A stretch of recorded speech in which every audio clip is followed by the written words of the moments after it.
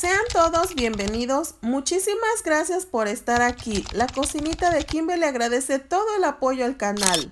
En el video anterior te mostraba cómo dar firmeza a decorar y cómo utilizo la Cool Wipe para cubrir mis pasteles. En este video te enseñaré cómo prepararla en sabor chocolate. Empezamos. Aquí la estrella de la fiesta, café soluble con cafeína sin cafeína, la marca de tu elección.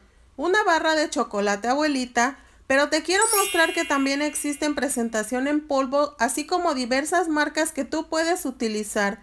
Elige la de tu elección, recuerda. De los dos me gusta más el sabor con la tablilla. Este solamente lo utilizo cuando no tengo tiempo de estar rayando el chocolate. También necesitaremos cocoa en polvo y a elección ya sea que le quieras agregar o no un color más intenso, el color café. En ciertas ocasiones también utilizo licor. Estas son las cremas irlandesas que estoy utilizando normalmente.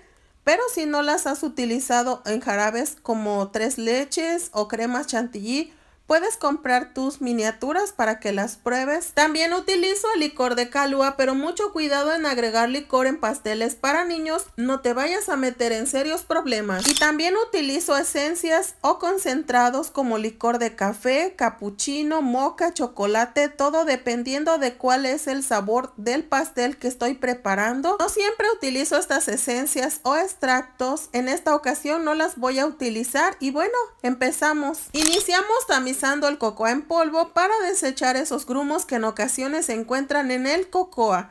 Estos grumos son los que te hablo. Y ahora listo, el cocoa en polvo completamente tamizado. Nuestro siguiente paso será rayar nuestro chocolate. Como te comentaba, tienes dos opciones. Utilizar el que ya viene en polvo o rayar tu tablilla. Yo prefiero la tablilla, como te comentaba, el sabor es muy delicioso. Y bueno, vamos a rayar entonces nuestra tablilla de chocolate. Si después de haber rayado tu chocolate notas en la mezcla unos gránulos más grandes, Tritúralos muy bien porque si los utilizas para hacer bordes, estos pueden costar trabajo pasar a través de la duya. Simple sugerencia. Nuestro siguiente paso será colocar en este tazón metálico nuestra crema batida. Esta crema yo la tenía en refrigeración normalmente una noche anterior a utilizarla yo la bajo del congelador. Ahora la tengo en refrigeración y lista para utilizar. El tazón lo metí al congelador como ves está bien helado. Vamos a integrar entonces nuestros ingredientes. Ahora vamos a iniciar agregando el café soluble, nuestro chocolate agua rallado. Estoy utilizando dos cucharadas. Al igual que la cocoa en polvo, también estoy utilizando dos cucharadas. Recuerda que estos son solamente un aproximado, todos los ingredientes los manejo siempre a partes iguales.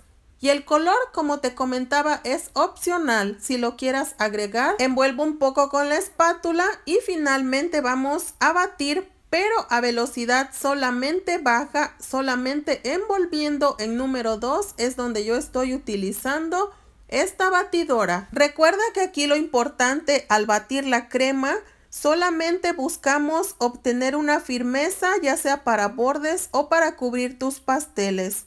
Y también esto lo puedes hacer en una batidora eléctrica manual. No te preocupes si tú no tienes esta. No necesitamos una extrema velocidad para obtener esta firmeza. No te estoy dando un tiempo aproximado de cuánto tiempo debes batir la crema ya que todo depende de la cantidad de crema a utilizar. Pero como ves, esta crema ya está totalmente firme esta crema ya está lista para cubrir un pastel, rellenar o hacer bordes. Hoy no vamos a cubrir un pastel, pero sí te voy a mostrar cómo vamos a hacer unos bonitos bordes con la duya número 4B.